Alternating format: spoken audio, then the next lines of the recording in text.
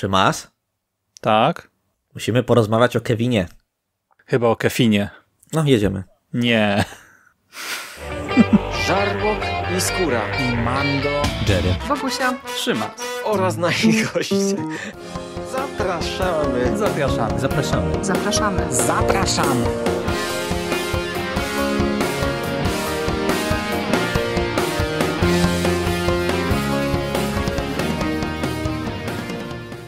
Witamy w konglomeracie podcastowym, czyli na platformie, która zbiera wszystkie wasze ulubione podcasty w jednym miejscu. Po tej stronie mikrofonu witają się z wami ze świątecznego studia Michał Misty Pop z mistycyzmu popkulturowego. Witam cię. Witam Ciebie również, Szymonie. I ja, Szymon Szymaścieściński. Cześć wszystkim. Ho, ho, ho!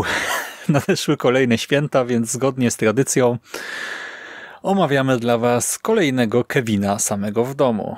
A właściwie dzisiaj e, nie Kevina, tylko Fina. Fin sam w domu to polski tytuł e, piątej części franczyzy Home Alone, e, w oryginale Home Alone The Holiday Heist, po polsku Fin sam w domu świąteczny skok. Film telewizyjny z 2012 roku. Jak tam, e, Michale? Czujesz atmosferę świąt już? Nagrywamy to trochę wcześniej w tym roku. A wiesz, że nawet tak. Bo jak y, w momencie, w którym to nagrywamy, widzę, że y, trochę śniegu leży u mnie za oknem i y, co prawda jeszcze nie słyszałem Last Christmas w radiu w tym miesiącu, ale chyba tak, chyba już jestem w takim troszkę bardziej świątecznym nastroju. A jak u ciebie? Mhm, również ten śnieg robi swoje, co prawda to mleko na niebie trochę przygnębia, E, ale jak się e, to, to niebo powiedzmy schowa już w nocy, jak jest ciemno, zapali się jakieś lampki, to klimacik jakoś tam czuć. Last Christmas też jeszcze nie słyszałem, ale też pracujemy z domu, nie? więc jest mniejsza okazja, żeby właśnie gdzieś trafić na e, mhm. muzykę z radia czy z jakiejś playlisty na mieście, a sami raczej się tak nie katujemy po prostu. No. No, katujemy się w inny sposób, oglądając kolejne części serii, niesamowitej serii Kevin sam w domu.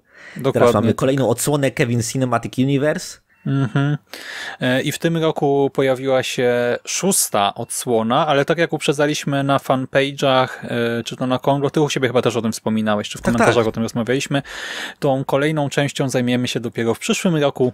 Kiedy już Disney Plus, miejmy nadzieję, wejdzie do Polski w końcu, bo wchodzi już od kilku lat i wejść nie może, ale no miejmy nadzieję, że uda się. Dokładnie tak, więc będziemy mogli to zrobić e, legalnie w przyszłym roku, a do tego też e, no, dwa Keviny e, jeszcze z numerkami 5 i 6 na jeden rok, to chyba trochę byłoby zbyt dużo jednak, zbyt wiele, więc przedłużymy naszą podcastową tradycję o jeszcze jeden rok i będziemy się słyszeć również w 2022, a i na kolejne o co najmniej lata... jeszcze jeden rok, bo kto wie, może Disneyowi odwali i będzie, wiesz, cisnął co, co roku y, kolejne takie y, niskobudżetowe sequele i co wtedy zrobimy, Szymon? Ech.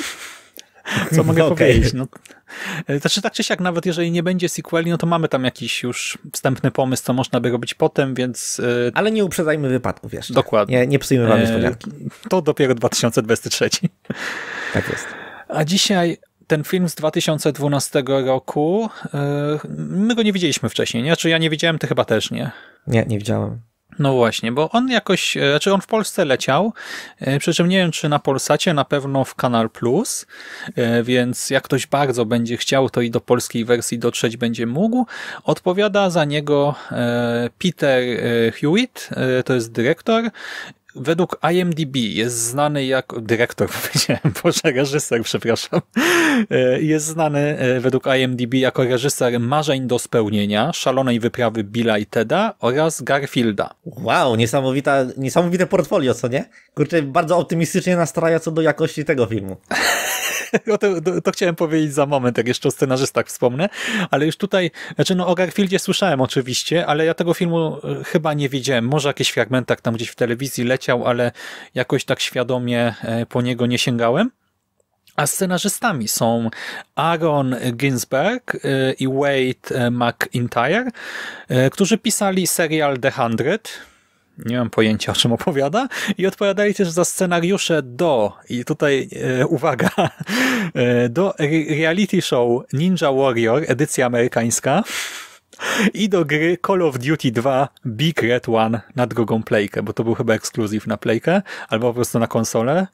E, no to nie nastraja w ogóle optymistycznie. Nie, no nie, nie, to nie, szczerze, no faktycznie to możemy się spodziewać e, rollercastera niezłego.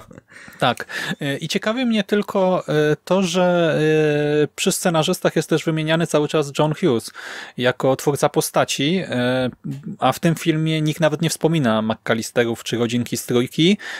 Kevina nie ma, więc trochę mnie to zaskoczyło, szczerze mówiąc. Ale może to tak po prostu ma zachęcić ludzi, tak? Ktoś zobaczy tam nazwisko y, twórcy oryginalnej ideologii i pomyśli sobie, o to może obejrzę. Dobra, to jeszcze nim przejdziemy do fabuły, co sądzisz o plakacie? E, którym plakacie? Bo ja widziałem. A tym, y, tym, co możemy go znaleźć na Wikipedii? E, no, tym z Finem. E. A, tym z Finem, który robi, który udaje Kevina, który udaje obraz Edwarda Muncha. Tak. No, plakat jak plakat. Nie, nie zrobił krzywdy moim oczom, y, jeśli mam być szczery. Mogło być gorzej. Na przykład, nie, nie wiem, ostatnio słuchałem, widziałem sobie y, podcast Mando o horrorach świątecznych i tam zobaczyłem naprawdę plakatową abominację i po tym to już chyba każdy plakat jest dla mnie dziełem sztuki. Ale tak y, już troszkę poważniej, to nie, plakat jak plakat. Wiesz Tyłka co? nie urywa, ale jest ok. On mnie nastroił strasznie negatywnie i do tego wkurzył mnie trochę e, z kilku powodów, no bo po pierwsze ten pierwszoplanowy aktor wygląda na nim źle, w sensie on wygląda inaczej niż w filmie nawet, nie? Jakoś mhm. tak go, nie wiem, czego jeszcze trochę wydłużyli e, w obróbce czy o co chodzi, ale on... E, no im dłużej patrzę na ten plakat, tym bardziej niekomfortowo się No czuję, właśnie on, moim zdaniem ten aktor młody źle tutaj wygląda. Po drugie, e, to jest nawiązanie do sceny z wodą kolońską właśnie z pierwszego filmu, a w tym filmie nie ma właśnie takiego prostego przeniesienia. Ale chyba do tego później przejdziemy, bo jest bardzo dużo odwołań takich bezpośrednich do pierwszego filmu. Tak, ale są filmu. odwołania takie właśnie na zasadzie nawiązania, a nie kopie, nie? jak to było mhm. poprzednio. Znaczy, ale wiesz co, ten, ten obraz Kevina, który krzyczy i udaje ten obraz, y, krzyk, to y, on jest na tyle ikoniczny, że roz, rozumiem, dlaczego to się znalazło na plakacie. Mm, ale trzecia rzecz, y, tego domu z plakatu nie ma w filmie, to jest jakiś inny dom też. No, to jest jakiś stokowy dom, dopiero teraz zwróciłem uwagę. Więc ja nie wiem, kto za to odpowiadał, ale no, dla mnie 2 na 10 tutaj akurat. Ale dobra, właśnie słyszycie, plakat twórcy, no można spodziewać się najgorszego, a czy ten film był taki straszny? Dowiecie się już za chwilę. E, zacznijmy od e, fabuły. Głównym bohaterem jest rodzina e, Baxterów, która przeprowadziła się w związku z awansem pani domu do nowego właśnie domu. Mamy dwójkę dzieci, Fina i jego siostrę Alexis, którzy mają swój własny świat, swoje własne zabawki, swoją własną piaskownicę. Finn jest uzależniony od gier komputerowych. Od strzelanek ma swoją ulubioną strzelankę, w którą cały czas y, gra. Raczej się izoluje od e, kolegów, koleżanek, no teraz jeszcze jest po przeprowadzce, ale właśnie nie narzeka na to, że stracił swoje dotychczasowe życie, e, no bo jego całym życiem jest gra komputerowa i e, jeden z graczy, z którymi właśnie często gra online, którego nigdy nie widział na oczy, zna go właśnie tylko e, z gry i czasem tam sobie z nim e, rozmawia. Jego siostra natomiast jest mocno niezadowolona. Ona jest trochę starsza, to już jest nastolatka, e, dla której wiadomo, przeprowadzka oznaczała właśnie zerwanie z dotychczasowymi znajomymi, no ale to już są czasy współczesne, ma telefon komórkowy z internetem, ma social media, więc wisi cały czas właśnie w mediach społecznościowych. No a rodzina po tym jak no, rozpakowuje rzeczy, e, zaczyna się, rodzice właściwie, zaczynają się stresować imprezą firmową. E, z okazji świąt e, szef mamy zorganizował przyjęcie, no i całą rodziną tutaj Baxterowie chcą się na nie wybrać, ale jako, że dzieciaki nie są nim absolutnie zainteresowane, no to po małej sprzeczce rodzice postanawiają wybrać się na imprezę sami, a dzieci zostają w domu. Z domem są dwa problemy. Po pierwsze, e, Finn e, jest przekonany, że straszy w nim. E, odkrywa w piwnicy jakieś dziwne, tajne przejście za takimi regałami na wino i dodatkowo właśnie chłopiec z sąsiedztwa, który jest fascynatem śniegu we wszystkich jego formach, wariantach. Y, ten chłopiec też wspomniał, że dom jest nawiedzony i film się trochę w związku z tym nakręca, a y, poza tym wiemy też, że trójka bandytów y, zamierza napaść na ten dom, by ukraść obraz, który prawdopodobnie gdzieś w nim został ukryty jest to obraz e, właśnie warty okrągłą sumkę i do tego, jak się potem też okazuje, e, jest e, oprócz wartości takiej stricte materialnej, ma też wartość sentymentalną dla właśnie szefa naszej szajki. No i jak się możecie spodziewać, Finn zostaje w domu z siostrą, jego siostra dodatkowo zostaje przypadkiem uwięziona w piwnicy i w związku z tym Finn jest sam w domu i musi stawić czoła naszym włamywaczom, no a czy duchowi także, no to teraz nie powiemy. Mhm. Powiedz mi, jak y, z jednej strony to powtórzenie schematu, ale z drugiej strony jednak powtórzenie z różnicą y, wpłynęło na ciebie, gdy już pionki zostały rozstawione. Właśnie gdy ten y, punkt wyjścia był dla ciebie znany i wiedziałeś mniej więcej do czego to będzie zmierzać. Czułeś się ukontentowany? Znaczy wiesz co, ja czułem nudę, bo to już mieliśmy i w y, pierwszym Kevinie, i w drugim Kevinie, i w sumie to w każdym Kevinie i... Yy, znaczy ja spodziewałem się, że ta, tak będzie wyglądała fabuła, bo to jest w końcu to jest film, który ma tytuł Home Alone i jest yy, częścią serii Home Alone, więc dziwne by było, gdyby to się nie zdarzyło. Po prostu miałem nadzieję, że twórcy będą mieli trochę więcej odwagi i wrzucą trochę więcej, wiesz... Yy, Y, scen czy kontekstów, które urozmaicą tę formułę, bo no to jest piąty film z serii.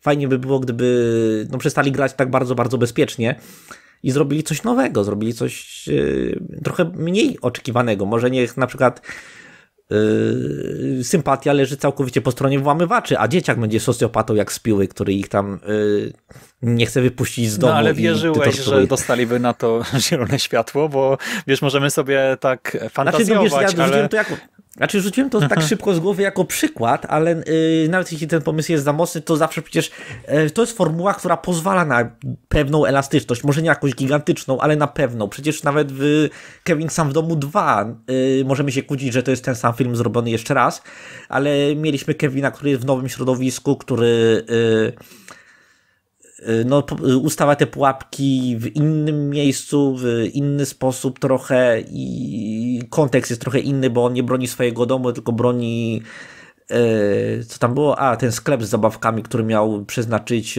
swój dochód na sierocinie, mhm. więc on tak, wiesz, i to, było, to była taka trochę przekontekstualizowanie tego, w sposób, który sprawia, że formuła jest w sumie taka sama, ale to się rozgrywa trochę inaczej. Ale wiesz a... co, ja tu trochę będę bronił Fina, bo mimo wszystko zobacz, po pierwsze e, dzieciaki trafiają do nowego domu, nie? Domu, który jest dla nich nieznany. E, po drugie, tutaj masz ten wątek e, chłopca, który gra w gry komputerowe, niby w strzelankę, ale strzelankę e, z zasłonami, taką trochę strategiczną, gdzie możesz jakieś pułapki zakładać, coś tam. Więc masz ten wątek nowych technologii, który był na przykład w czwórce, ale tam był fatalny. Tam ten e, mhm. smart dom to był jakiś absurd totalny, nie? Że tam, nie wiem, jakoś się automatycznie prysznic odpalił i całe mieszkanie zalał, czy coś takiego, nie? To były jakieś takie bzdury, jakieś takie fantasy e, klasy Z, e, Z, Z.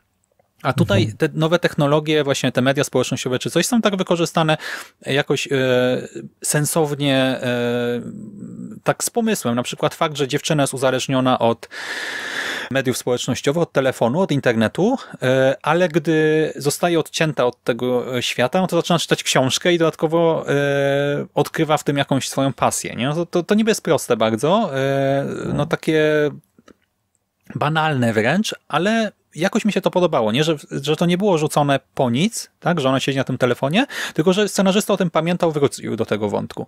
E, do tego mamy wątek tego ducha potencjalnego. tak? E, on może i zostaje jakoś tam szybko ucięty, ale początkowo też daje nowe wajby dla tej franczyzy. E, Szczerze to było, to, znaczy to był trochę rehash tego, że Kevin w dwóch pierwszych filmach spotkał po prostu osobę, która wydawała mu się bardzo groźna, potem poznał tę osobę i okazało się, że ona nie jest groźna. Ale właśnie, tutaj nie masz tego wątku, nie? Jako... Znaczy, tu, no, znaczy tutaj wydaje mu się, że jest jakieś groźne zjawisko, potem on poznał to zjawisko, okazało się, że ono jest po prostu no, tym typem, który próbuje yy, na, yy, no, włamać się do jego domu. Co, no, no i można się kłócić, że jest, wiesz co, ja mam największy problem chyba z tym, ja chyba odniosłem to wrażenie, że y, film jest strasznie y, mało odważny, Mhm. chociaż ja się zgadzam ze wszystkim, co mówisz, że te wątki, które, o których wspomniałeś, one fajnie rekontekstualizują formułę, ale wydaje mi się, że on tak strasznie chce być dwoma pierwszymi Kevinami y, i kopiuje wiele scen po prostu w innych kontekstach i y, nie wiem, może stąd wzięło się moje wrażenie, że on jest taki mniej, y, mniej nowatorski. Znaczy właśnie, ale masz ja mam rację. tutaj problem, jak tak o tym mówisz, bo zgadzam się, że on nie jest odważny, ale mimo wszystko oceniam go jako powiew świeżości. Może nie mocny, ale e, tak jak wiesz, ten poprzedni film, e, gdy chciał zrobić coś świeżego z tym Smartdomem, to to się w ogóle nie udawało, tak? A do tego e, nawet sam fakt, że tutaj znowu nasi włamywacze, e, mamy trzy osoby akurat, nie? I e, jedna z nich e, jest e, No głupia, przepraszam, chciałem jakoś to delikatniej e, nazwać, ale e, jest naprawdę e, no głupiutka strasznie. E, Druga jest minimalnie bardziej rozgarnięta, ale ma jedną taką straszną słabość, e, bo nasza kobieca włamywaczka tutaj jest nieszczęśliwie zakochana i e, w momentach, gdy to uczucie się odzywa, no to zamienia się w taką też, za przeproszeniem, płaczliwą idiotkę. E, No a nasz e, szef szajki jest e, jedyną jakoś tam zdrowo myślącą osobą, yy, przy czym jest tak trochę pociesznie yy, tutaj zrobiony, yy, żeby mimo wszystko nie był właśnie straszny, pewnie dlatego, że to jest jednak kino familijne, nie? że to jest taki po prostu dziadzio, który niby jest tutaj złym włamywaczem, no ale raczej się go nie boimy, ale nawet to jakoś tam mi pasowało, bo były inne interakcje między tymi postaciami, trochę były, e, nie wiem, jakieś tam między sobą e, zachodziły między nimi relacje, tak w tym trójkącie, że tam gdzieś zaczęły się szantaże, nie wiem, licytacja o zwiększenie stawek. Takie małe pierdółki, które jednak gdzieś tam sprawiały, że e, te wszystkie nawet schematyczne elementy mimo wszystko wydały mi się świeższe, nie? E, Czy potem pułapki, które, e, do których pewnie przejdziemy osobno też, e, też część gdzieś tam powraca, no bo ile rzeczy można wymyślić pod kątem pułapek w domu, ale e, nadal czułem, nie, nie czułem tej takiej totalnej powtarzalności. Nie, nie ziewałem na tym, nie? Tylko tak oglądałem to w miarę przyjemnie, zresztą to jest krótki film, bo on tam trwa ile? Z 80 minut pewnie. Ja właśnie nie czułem nudy, co było dla mnie zaskoczeniem. I nie czułem zażenowania, co było drugim zaskoczeniem. Znaczy, y, z tym zażenowaniem to ja bym się nie rozpędzał, ale wiesz co, masz rację, że y, złoczyńcy akurat byli chyba bardzo mocnym punktem programu, bo oni, mieli zarąbistą chemię między sobą i y, większość y, scen z nimi była naprawdę całkiem zabawna. E, Fajnie byłoby, gdyby dostali trochę lepszy scenariusz i trochę lepsze wskazówki od reżysera, jak grać. Tak, tak, Ale, no. y, y, ale, ale czuć było, że wiesz, że y, o, oni są mocnym punktem, że fajnie byłoby ich zobaczyć trochę więcej. Generalnie, gdyby oni powrócili w jakimś sequelu, to ja bym się nie pogniewał, bo ma, mamy tu takiego dziadka, który wiesz, ma trochę swoją obsesję, ale jest y, y, zmęczony tymi ludźmi, którzy go otaczają, wiesz, tak jest, a jestem otoczony przez kretynów i trochę ma rację. Y, Nie, ma, mamy tego gościa włamywacza, który jest taki bardzo ekspresywny i ma, mamy tę trochę płaczliwą babkę. Ekspresywny, ale Y, to są pro... on jest jak dziecko, on jest jak takie wielkie dziecko. E, I to tak e, dosłownie, że ja miałem wrażenie, że można by e, mu dokleić po prostu smoczek i taki czepek, nie? Niemowlęcy do tego filmu. Znaczy, no, no, widać, że on nie jest najostrzejszym nożem w szufladzie. Tak metaforycznie mówiąc. Ale nie, oni, oni mają fajne chem, fajną chemię. To są proste archetypy, ale scenarzystom udało się pozderzać te archetypy w taki sposób, że, że to gra, że to działa, że są fajne, przyjemne sceny z Tak, nimi. i oni są właśnie dziecięcy, niedojrzali, głupkowaci, ale nie tacy jak w czwórce, nie? Bo w czwórce to byli bohaterowie, e, e, których się nie chciało nawet obserwować, nie? Którzy Tak, byli nie, to było tak, okropne. E, no, no dla nich słowo głupi to jest komplement, umówmy się, a Mhm. tutaj jednak, no i w sensie ci bohaterowie wpadają w różne pułapki właśnie trochę czasami, e, no jak takie dzieciaki, ale e, no to nie jest tak, że sami sobie robią krzywdę w taki już naprawdę absurdalny sposób, tylko jednak jakoś, jakaś tam logika jest w tym ich działaniu, tak? Y, Ja chciałem jeszcze się odnieść do tego wątku y, technofobii, znaczy te technofilii w sumie, że y, oboje, y, oboje czy, y, dzieciaki z tej rodziny, oboje mają obsesję na punkcie nowej, nowych technologii, każdy z nich na inny sposób i oni używają tej technologii, żeby się alienować i to samo sobie nie jest złym wątkiem, ale ten film miał przynajmniej na początku taki strasznie taki, wiesz, taki klimat według mnie, że to jak twój stary widzi technologię. tak. Nie, nie wiem, czy tak, rozumiesz, tak, o, o co tak, mi chodzi. I takie wiesz, ojej, nie, że te dzieciaki, które bełkoczą, coś nie potrafią odróżnić rzeczywistości od y, y, fantazji, od gry. I y, według mnie to było strasznie takie infantylizujące i źle się zestarzało. Nie miałeś też wrażenia, że mimo wszystko. Y że e, to, to jest na takiej granicy, ale to jednak jakoś tam balansuje jeszcze, jej do końca nie przekracza, bo tam są takie wątki, że na przykład właśnie Finn e, wszystko traktuje jak grę, co mogłoby być właśnie takie naprawdę fatalne, żenujące.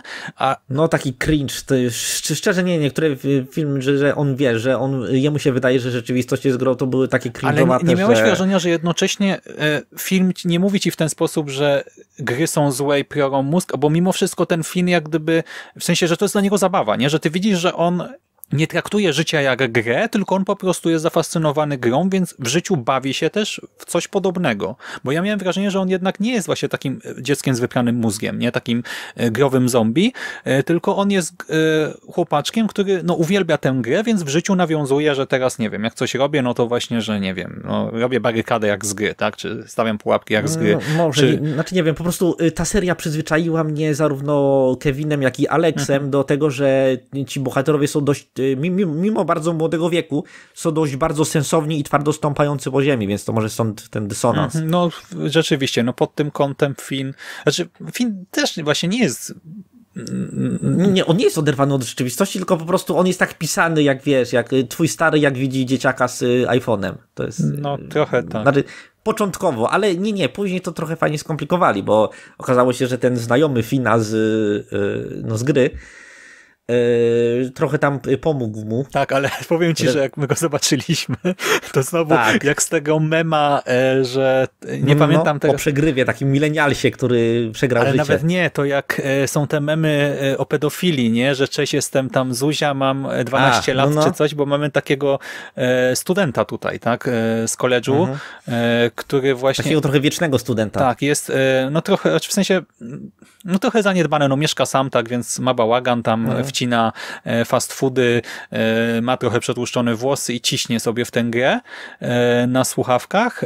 Jest pulchny, sympatyczny, ale właśnie no taki trochę taka środka życiowa. W tej grze no, jest mistrzem, bo naprawdę dużo czasu jej poświęca, co też pokazuje właśnie, to też mi się w sumie podobało, że to nie jest ktoś, kto po prostu stracił życie y, dla gry, tylko akurat w grze jest y, rzeczywiście najlepszy, nie? że opanował ją do perfekcji, czyli ma jakieś tam kompetencje, możliwości, tylko może źle ulokował e, właśnie czas, siły i tak dalej. Ale to, to, to dla, dla, mnie to jest kolejna odsłona właśnie tego, tego problemu, że y, twój stary, jak twój stary widzi nowe pokolenia, że to wie, że w gry komputerowe, sieciowe grał tylko przegrywy, którym nic w życiu nie wyszło. Ale właśnie i... nie masz wrażenia, że to, to, to, on ci tak to pokazuje, ale jednocześnie ci mówi, że po pierwsze on jest mega tak, w tę grę, ma niesamowitego skilla, po drugie ma też inne kompetencje informatyczne w związku z tymi zainteresowaniami, po trzecie w jakiś tam sposób może nie ratuje dnia, bo to nie jest właśnie ta postać jak w poprzednich filmach, która tam nagle wkracza i w ostatniej chwili tego złola gdzieś tam łopatą trzaśnie czy coś, ale Kontaktuje się z rodzicami Fina na przykład. Y, doprowadza też do tego, że policja gdzieś tam e, e, też jest w akcji. No, robi mu najazd na chatę. Znaczy, to, znaczy, z jednej strony mnie ta scena rozbawiła, ale z drugiej to jest też dalej traktowanie takie... Znaczy, nie, nie wiem, może ja Ale właśnie zobacz, przyjechała ta policja, ale się okazało, że właśnie nie, że to nie jest zły człowiek, tak? Że to jest dobry człowiek, który mhm. chciał pomóc, który wykorzystał swoje możliwości na tyle, na ile umiał. Właśnie ja tutaj cały czas widzę takie światełko nadziei, nie? Że to, to o czym ty mówisz jest, ale jak gdyby film nie daje tego kroku dalej, żeby pokazać, że właśnie, nie wiem, gry to zło, telefon to zło, internet to zło, dzieciaki są głupie i nie ma dla nich nadziei, tylko potem właśnie tak mimo wszystko zostaje na tej granicy, czy nawet się minimalnie cofa mhm. i pokazuje, ej, zobacz, ten gracz to jest w sumie spoko facet, no przecież chciał pomóc, tak? E, I no, może magnuje trochę swoje życie, ale jest dla niego nadzieja, tak? I jest, no właśnie spoko gościem. Znaczy, y, ja, ja, się, ja się z tobą zgadzam, ten film nie jest tak y, całkowicie antagonistyczny wobec, ani wobec technologii, ani wobec młodych pokoleń, które po prostu posługują się intuicyjnie technologią mhm. bardziej niż ich rodzice. Ale według mnie tak trosz, troszkę za bardzo balansuje na tej Mhm. granicy, gdzie to jest, wiesz, troszkę zbyt karykaturalnie przedstawione, jak na mój gust, ale ja się zgadzam, że to nie jest, to nie jest problem, tak sam w sobie. No ale to, no, w sumie też jeszcze, no trzeba pamiętać, że minęło 9 lat, no i teraz y, wszyscy jedziemy ostro w tej pracy zdalnej, no nie wszyscy, ale No. y, ta zmiana ostatnich lat też może na to wpływać, nie? Że już tym bardziej Dokładnie, no, mhm. tak jak postrzeganie y, tych pierwszych Kevinów też się zmieniło, jak przyszedł kryzys Mhm. finansowy i ten dom y, rodziców Kevina nie, nie jest po prostu takim domem dobrze, y, gościa, któremu dobrze Mhm. się powodzi, tylko domem takiego naprawdę y, no y, jednoprocentera. Mhm. Z naszego punktu widzenia, chociaż no lata, Jezusa, tak. mhm. chociaż y, la, lata 90. akurat chyba pozwalały sobie na taką troszkę większą rozrzutność niż te obecne. Mhm. Dobra. Ym, Co, mówiliśmy wszystko już? nie, Chyba nie, nie. E, Jeszcze coś w kontekście technologii mi się... A, już wiem, co chciałem jeszcze powiedzieć. E, Dlatego też właśnie troszkę bronię tego wszystkiego, bo ja mam wrażenie, że e, mimo wszystko właśnie ci młodzi ludzie tutaj, nawet uzależnieni jakoś tam od nowych mediów, ostatecznie mam wrażenie, że wiesz, ten troszkę przegryw ze studiów okazuje się być właśnie spoko gościem, który chce pomóc. Nasz Finn e, wykorzystuje jak gdyby trochę te zdolności z gry, te strategie, by urat- uratować dzień, tak? E, Córka, która e, niby teraz nie widzi świata poza telefonem, e, czyta Wojnę i Pokój, tak? A znowu co się dzieje z rodzicami, z tym starszym pokoleniem? To oni są tacy trochę właśnie bez pasji, tak, skupieni na tej no. pracy, że dla tej pracy właśnie rzucają wszystko, trochę poświęcają rodzinę, e, jadą właśnie na przyjęcie e, do tego nowego szefa i tam wszyscy to są takie trochę bubki właśnie e, biznesowe. Ten szef też jest w sumie absurdalnie przedstawiony, tak właśnie trochę niby z jajem komicznie, ale ja miałem, mimo wszystko mam negatywną wizję jego jako człowieka, nie? że to jest taki bogacz właśnie, którym, w sensie no fajnie mieć kasę, ale nie chciałbym być takim człowiekiem, nie? Mhm. Pokazuje, jak pieniądze alienują w ogóle i to, jest fajny motyw. Mhm. Szczególnie biorąc pod uwagę fakt, że podobno, bo jeszcze nie widziałem, ale w kolejnym filmie będzie z tym troszkę dziwniej, ale o tym porozmawiamy za rok.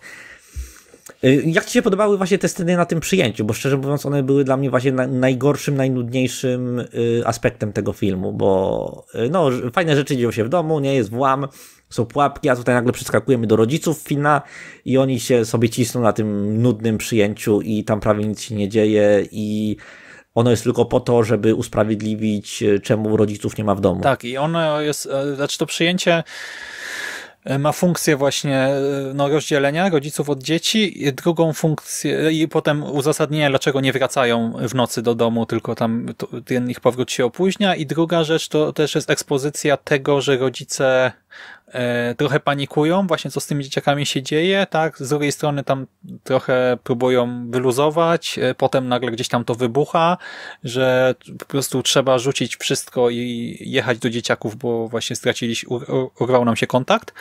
To przyjęcie Wiesz, tu jest jakiś koncept za tym, tak, że to jest przyjęcie bożonarodzeniowe, więc facet wynajął, e, bogacz wynajął Mikołajki i Mikołajów, w tym Mikołajów z prawdziwymi brodami, w sensie mężczyzn, którzy się przebierają, ale mają prawdziwe brody, bo go stać. E, I tam e, przez, to ma, miało też dodać trochę klimatu, ale właśnie tego klimatu świąt tam nie czuć, nie? To jest takie nieprzyjemne Wiesz miejsce. co, ja myślę, że te sceny były bardzo mocno niedopisane. Tam y, nie było ty, tylu żartów, ile było na przykład w scenach z naszymi antagonistami, ani nie, nie działo się tyle ciekawych rzeczy, co działo się w domu. No i też głównym żartem było to, że ten facet, nie wiem, czy on był przygłuchy, czy średnio ogarniał rzeczywistość, no jakoś tak e, gadał od rzeczy i mylił osoby. Mhm. E, No, znaczy wiesz, no ten żart, że pomylił męża e, tutaj naszej głównej bohaterki, naszego tatę z lokajem, czy coś, to mnie nawet trochę rozbawiło, bo to było tak absurdalne, nie? Podchodzisz do czyjegoś męża i mówisz tam do niego, Arturze, podaj pani drinka, czy coś, no to było tak głupie, że się zaśmiałem, szczerze mówiąc, ale Znaczy, ale takich żartów było znacznie mniej niż w pozostałym. tak, ale do tego te wszystkie żarty, wszystkie żarty, które się pojawiły w pierwszej sekwencji, że on nie odróżnia postaci, e, że właśnie nasz bohater ma taki sam krawat jak ten jego lokaj i że ten facet jakoś nie dosłyszy czy coś, no to że to powracało potem jeszcze, nie? Że to był cały czas ten sam żart z tej pierwszej sceny, dlatego za pierwszym Mhm. No. razem to bawiło, ale za drugim, za trzecim już e, to było trochę drętwe. Tak, no to były raczej słabsze sekwencje i kontynuując właśnie to, mam wrażenie, że trochę mało jest tutaj świąt w tym filmie. To nie jest może problem... Oczywiście znaczy, była taka jedna scena, że oni sobie jadą gdzieś za miasto i po prostu świętują, nie? Wybierają prezenty i tak dalej i to było fajne, ale zgadzam się, że jest za mało świąt. Nie ma choinki chyba. Nie, choinka no, no, ma mały e, tam gdzieś chyba była, ale właśnie to mhm. jest jedna taka fajowa sekwencja, gdzie mamy e, rodzinne zakupy i przygotowania. Właśnie tam tę choinkę wybierają te prezenty i kolędników mamy w tle. E, ci kolędnicy może są trochę dziwni, trochę tacy cringe'owi, no bo to tak, e, w sensie ta scena jest tak sztucznie skonstruowana, nie, że ci kolędnicy... Znaczy wiesz, to wszyscy kolędnicy są cringe'owi. Ale tutaj w ogóle w tej scenie oni tak stoją, śpiewają, a ta godzina mhm. załatwia 10 rzeczy, nie obok nich jak gdyby. E, ale właśnie to jest jedyny moment, gdzie tam te święta troszkę bardziej się z ekranu wylewają, a poza tym, no my słyszymy, że one się zbliżają, tak, wiemy, że tam będą prezenty, na koniec mamy oczywiście scenę z, z rozpakowywaniem prezentów i ona też jest w miarę spoko, ale mimo wszystko tutaj jest y, no, dużo, dużo mniej klimatu niż y, w jedynce czy dwójce. Nie mhm. ma właśnie za bardzo też tych spacerów po śniegu, nie ma jakichś też innych drzewek, nie ma kolęd, znaczy, nie ma ja wiem, czy nie ma tych spacerów po śniegu, mamy tego przecież y, nowego przyjaciela Fina, który cały czas ciśnie ten śnieg i te bałwany i no, to było takie trochę zimowo-świąteczne. Tak, ale znowu tutaj przez to, że masz dziecko, które buduje fort śnieżny, to nie jest coś świątecznego do końca, nie? To jest zimowe. Ale Y, ten fort nie miał, nie wiem, jakichś kokardek, bombek, no małego nie, nie wieńca miał. adwentowego. O to mi chodzi, nie? Że nawet jak masz ten setting, y, to to nie jest, y, nawet jak ten spacer po parku gdzieś nowojorskim, nie? Wieczorami, gdzie masz, miałeś te wielkie drzewka, tam jakaś jodełka, coś, to, i tam była jakaś szopka gdzieś, czy właśnie była jakaś wizyta w jakimś kościółku w tych poprzednich Kevinach, no to tam to robiło klimat. A tutaj nawet jak jesteśmy na tym śniegu, no to ja widzę zimę i widzę chłopca, który robi fort, ale nie czuję absolutnie, że to jest film świąteczny. Mhm. No i w domu też tak naprawdę poza tą ostatnią sekwencją nie ma za bardzo tych przygotowań świątecznych. Mamy bardziej przygotowania właśnie do tej kolacji, do tego balu, ale ten bal też jest tak sztucznie świąteczny, taki sztywnawy, e, więc e, tego, znaczy to, to nie psuje mi filmu może, ale szkoda, nie? No bo gdyby no szkoda, szkoda. tutaj było tego Ale wiesz więcej... co, ja, ja odnoszę, że, odnoszę wrażenie, że y, te święta są wrzucane tak obligatoryjnie do wszystkich filmów podwójce, bo, no bo jeśli to jest film Kevin sam w domu, to tam muszą być święta, bo w pierwszych dwóch filmach były święta i to jest jednym z tematów przewodnich całej serii. Ale y, też widzę, że y, wszyscy chyba ci reżyserzy, no może z wyjątkiem czwórki, ale to nie mówmy o czwórce, mhm Yy, wszyscy z wyjątkiem czwórki tam wrzucali te sceny ze świętami tak obligatoryjnie. Aha, żeby ustanowić, że to się dzieje w trakcie świąt, już mamy na to wywalone, bo no bo mhm. Bo to nie ma, nie, nie ma znaczenia. Dokładnie. I e, wspominałeś o tym wątku, który też stał się jakoś tam kultowy, postaci, których e, Kevin się bał, a potem okazywały się sojusznikami. No to tutaj właśnie e, tego nie mamy. Mamy ten lęk przed jakimś tam duchem, początkowo. mamy tego gościa z, no tego przegrywa. Tak, ale właśnie mamy dwóch niespodziewanych sojuszników, bo po pierwsze jest ten mhm. Przegryw, który nie do końca, nie ma bezpośredniego wpływu na wydarzenia tam u Fina w domu, ale stara się jakoś tam pomóc, okazuje się być tym sojusznikiem i E, delikatnie mu doradza tak od, pod kątem strategii. E, I zresztą to też jest fajnie rozegrane, no bo wiecie, jesteście powiedzmy dwudziestolatkiem e, i nagle słyszycie, że gracie z trzynastolatkiem, tak? No ale dobrze wam się gra.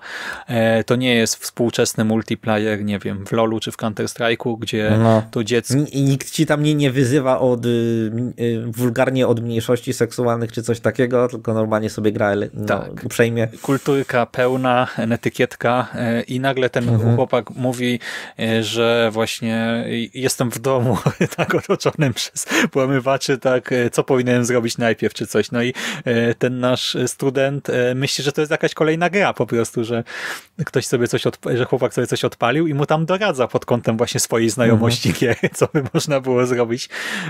I to też jest właśnie sympatyczne, fajne.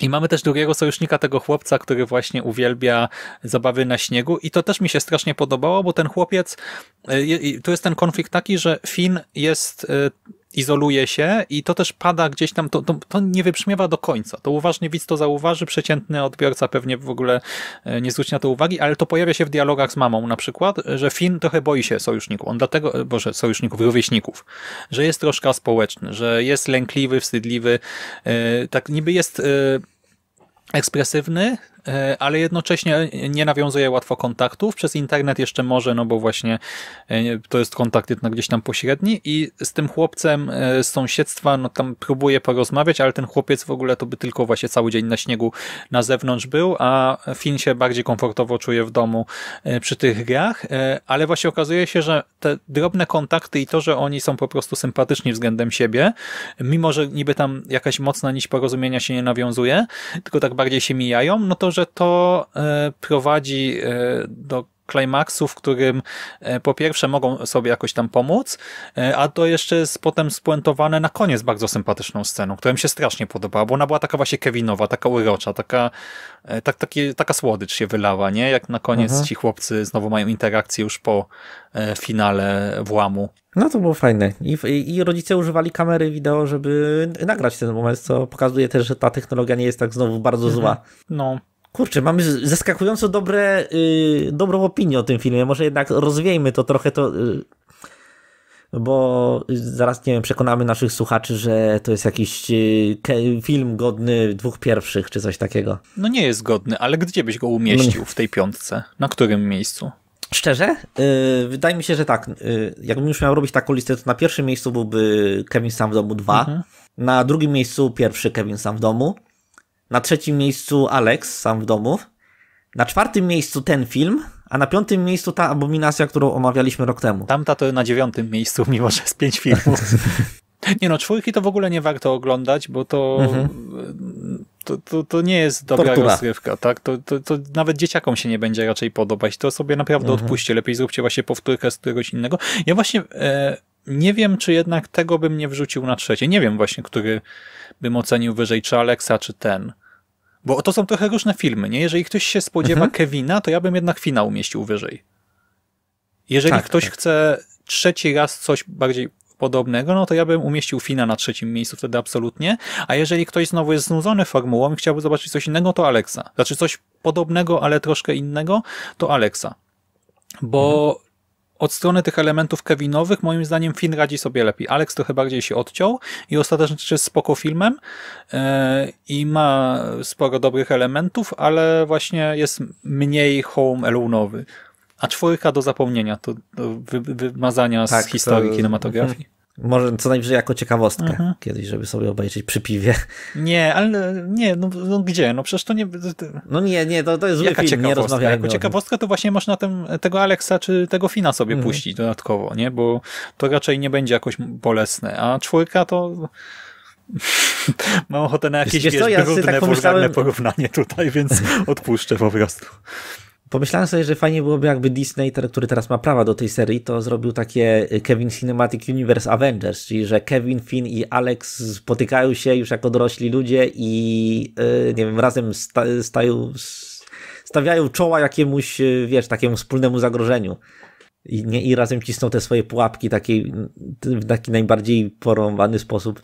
Oglądałbyś coś takiego? Home Alone, Oceans... E, tam, czy jakiś tam numer i 30 mhm. włamywa, największych włamywaczy świata kontra trójka dorosłych dzieci. Takie igrzyska śmierci dla włamywaczy. I tutaj y, Kevin, Alex i Finn robią takie, są takie pułapki, tak super, tak jak spiły. Mhm.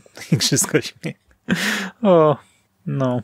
Dobra, to jak oceniamy ten film ostatecznie? Tak okejowato ja bym go ocenił. Mm. Znaczy, wiesz co, ja, ja też y, w sumie powiem ci, no bo te Keviny się odświeża tak też trochę, e, jak się jest po prostu urodziny, które na przykład ogląda telewizję. No to te Keviny mhm. lecą co roku gdzieś tam w telewizji i e, myślę, że one mogą też męczyć, nie? Bo ja sam wiem, że nie chciało mi się na nie patrzeć jakoś tak aktywnie, e, gdy leciały w tle, tylko tam gdzieś jednym okiem się na to zerkało.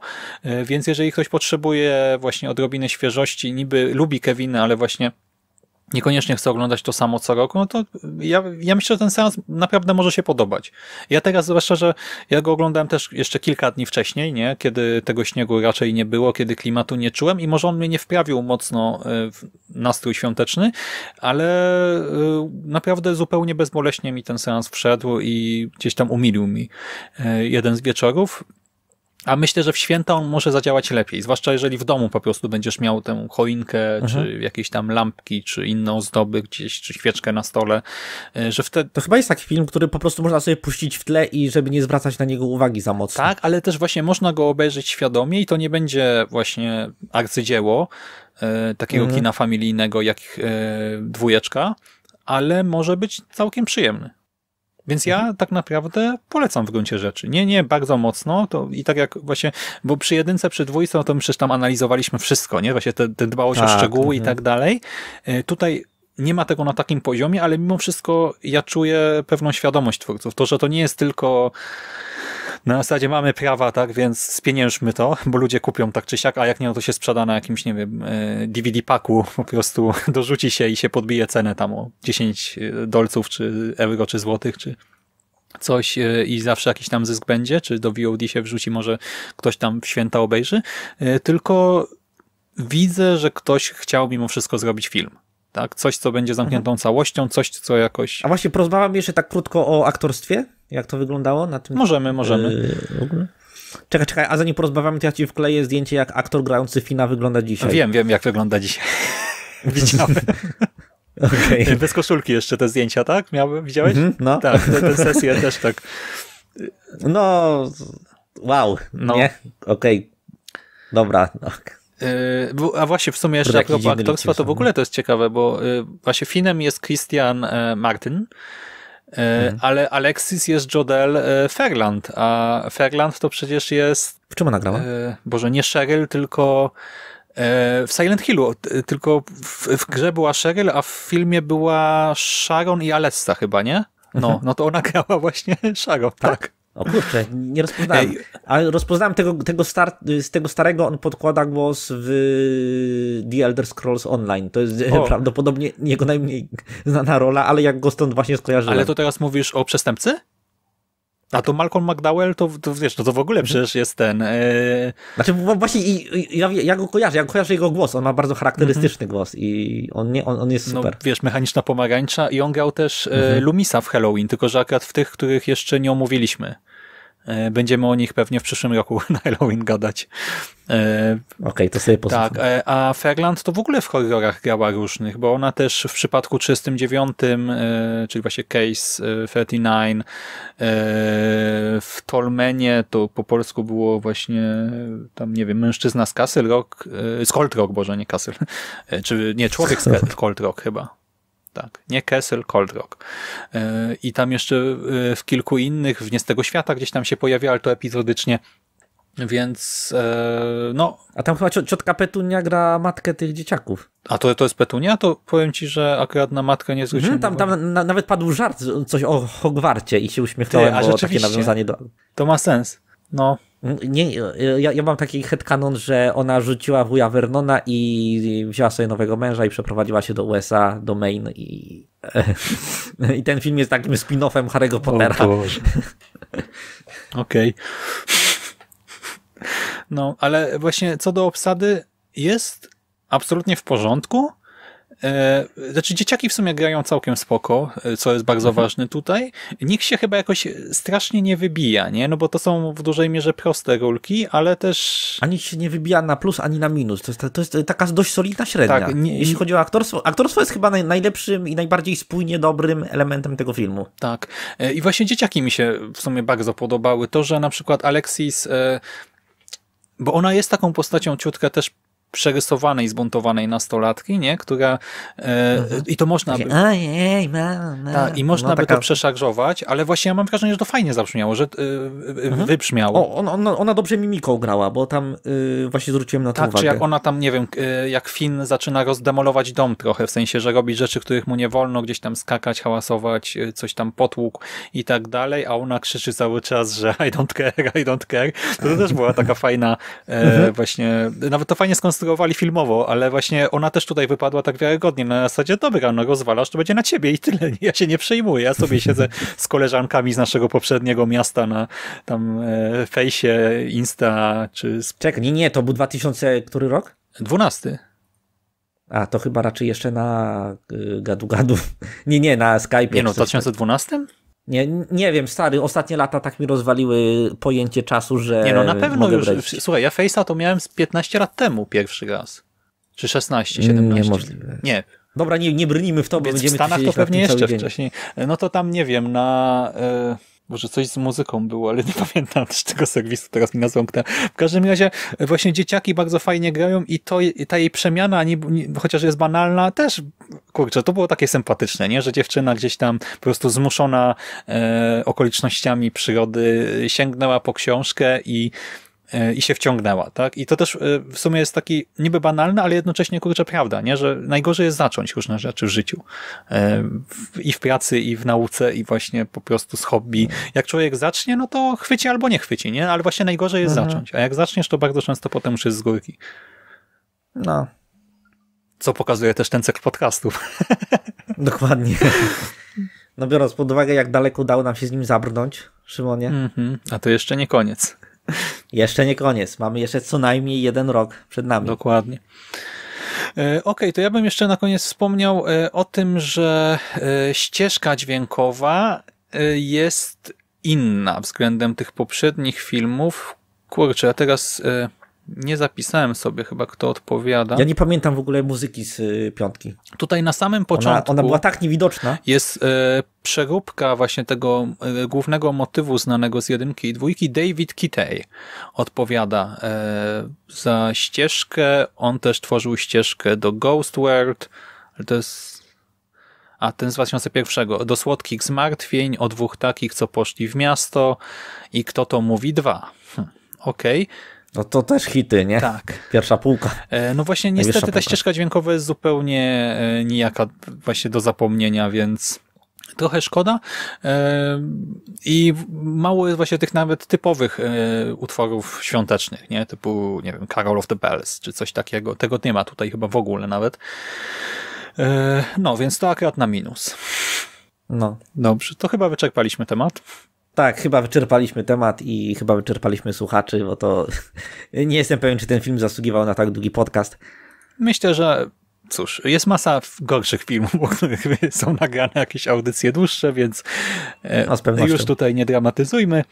Do tego e, właśnie korzystając z okazji, jako że dziś Wigilia, no to chcielibyśmy życzyć naszym słuchaczom udanych, Mhm. przyjemnych, radosnych świąt, e, żeby Spokojnych, bezpiecznych. tak, żeby to nie były święta, jakie mogły czekać naszego studenta z filmu, czyli święta samotne, tylko żebyście wszyscy jednak spędzili Ale czekaj, prze, przecież on, on miał pod koniec, y, y, rodzice Fina kupili mu bilet, żeby mógł pojechać do rodziny i się No właśnie tego powiedziałem, więc- święta, które mogły czekać naszego studenta, A. bo ostatecznie jego los A, się nie, odmienił. zrozumiałem. No to właśnie wam też życzymy, e, kochani, żebyście spędzili je niekoniecznie z rodziną, umówmy się, ale wśród e, osób, z którymi czujecie się dobrze, z którymi czujecie się bezpiecznie, komfortowo, żeby to był czas sympatyczny i żebyśmy też wszyscy w te święta odpoczęli, bo jesteśmy tutaj w gronie pracocholików, więc e, żebyśmy właśnie znaleźli też e, czas nie tylko dla innych, ale też dla siebie. Dokładnie. Wesołych świąt. Boże, aż mi się łezka wokół zakręciła. Ojej. Ty jesteś sentymentalny, Simonie. Dokładnie. To dzięki serdeczne, Misty. No ja tobie również dziękuję. Słyszymy się za rok. Teraz znowu znikamy sobie z radaru na 11,5 miesiąca. Nie chcę się deklarować, nie chcę odpukać tutaj. Pukam we wszystko, co mogę. Pukaj, pukaj. To nie wiem, tu chyba nie malowane, ale lakierowane. Lakierowane się liczy? Liczy się chyba, nie? Nie mam najmniejszego pojęcia. Mam nadzieję, że się liczy. Dobra, to ja też mam taką nadzieję. Dobra, no to jeszcze raz wesołych świąt i do następnego razu. Cześć. Do następnego razu. Cześć.